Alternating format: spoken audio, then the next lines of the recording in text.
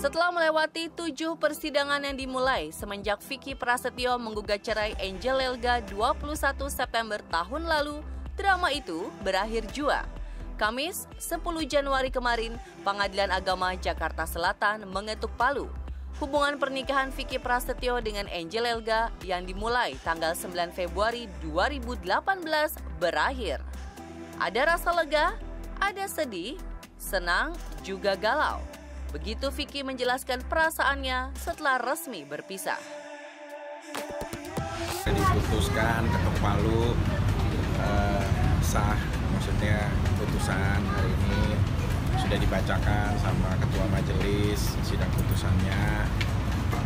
Uh, ya udah sah menurut agama dan negara. Tadi memang hakim itu hanya membaca amar saja.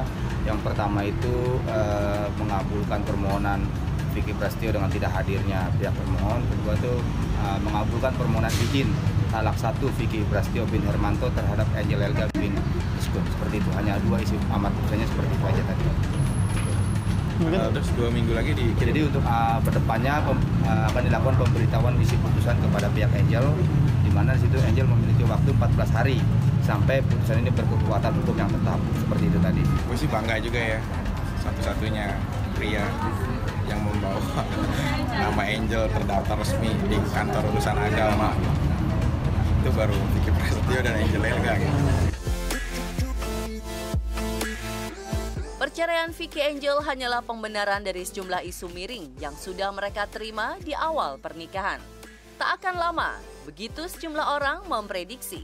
Itu hanya kawin kontrak, demikian yang lain berspekulasi. Apa pun sangka dan dugaan kini menjadi benar. Biduk rumah tangga itu karam setelah 10 bulan mengarungi lautan kehidupan. Indah awal kisahnya. Under the sun, you are the one I came across you like a diamond bilang ini sebagai pelabuhan terakhir saya, ya saya berusaha semaksimal mungkin apa pun yang saya bisa dan saya bisa lakukan, ya saya lakukan. Itulah petikan sekaligus janji Vicky Prasetyo kepada Angel Lilga beberapa pekan sebelum mereka melangsungkan pernikahan.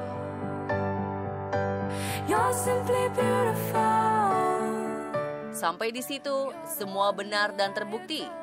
Tanggal 9 Februari, lelaki yang mulai dikenal ketika bertunangan dengan Zaskia Gotik mengucapkan ijab kabul di Masjid Istiqlal Jakarta. Keduanya resmi menjadi suami istri. Resepsi mewah dengan konsep outdoor dihelat di pantai Karnaval Ancol. Sebuah stasiun televisi bahkan menayangkan secara langsung. 8 bulan berjalan normal. Serupa pengantin baru umumnya, Vicky dan Angel selalu tampil mesra. Hampir di setiap aktivitas keartisan, keduanya datang bersama bergandeng tangan dengan romantisnya. Beberapa bulan lalu, Angel bahkan dikabarkan hamil meski tak pernah benar-benar memeriksakan kandungannya.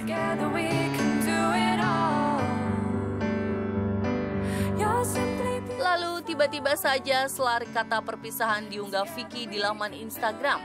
Dalam tulisan beberapa chapter itu, lelaki kelahiran 18 April 1984 juga menyampaikan permohonan maaf kepada sang istri karena telah gagal menjadi kepala rumah tangga.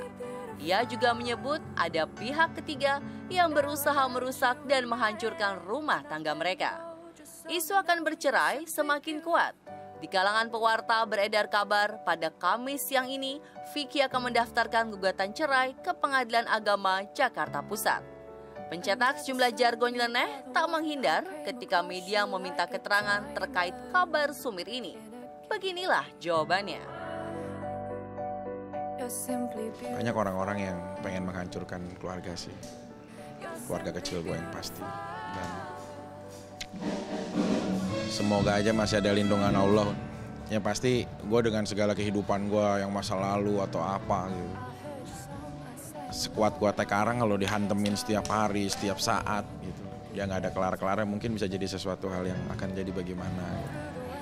Tapi ya memang gue sih berusaha untuk uh, menjaga gitu Tapi kalau memang semuanya nggak bisa lagi atau apa itu kan tergantung dari ya Allah lah ya Tuhan sang maha penguasa kehidupan gitu yang pasti cobaan di rumah tangga kita selalu ada terus Dalam keterangannya, penyanyi, komedian, dan presenter ini menyebut bahwa rumah tangganya memang tengah bermasalah. Namun dengan tegas membantah bahwa problem tumbuh karena adanya orang ketiga. Meski Vicky berusaha menjelaskan yang sebenar-benarnya terjadi, dugaan dan syakwa sangka sudah terlanjur melekat. Itu terkait dugaan isu kawin kontrak yang dijalani keduanya. Konon, pernikahan mereka sudah diatur durasi waktunya yang cuma enam bulan saja. Entahlah yang sebenarnya terjadi. Vicky sendiri tak terlalu kaget ketika rumor ini dikonfrontir media. saya belum tahu saya belum tahu kalau memang ada seperti itu saya juga belum tahu. Saya kan nggak bisa ini ya prediksi ini ya. saya nggak tahu sampai seserius itu saya nggak tahu. Tapi berusaha ya semaksimal mungkin. Bagaimana caranya rumah tangga saya diselamatkan? Gue rumah tangga nggak main-main. Gue maksudnya udah menikah dari petualang ya udahlah kelar. Alhamdulillah punya pelabuhan My Weaver Angel Helga gitu kan. Terus istri hamil kemarin walaupun sempat keguguran itu rumah tangga yang gak main-main itu bener-bener pakai keringat kita memperjuangkan berdua dari keutuhan yang baik kita menjalani berbulan-berbulan terus sampai seterusnya itu nggak nggak sembarangan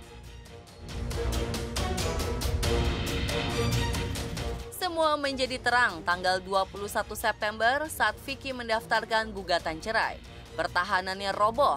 Dengan alasan yang disimpannya sendiri, lelaki asal Bekasi ini menangis ketika mendatangi pengadilan agama.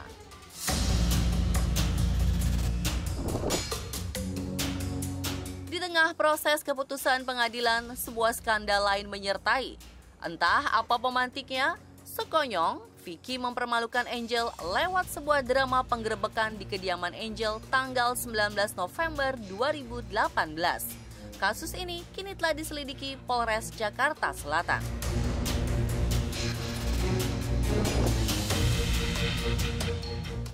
Januari 2019, drama berakhir. Wassalam.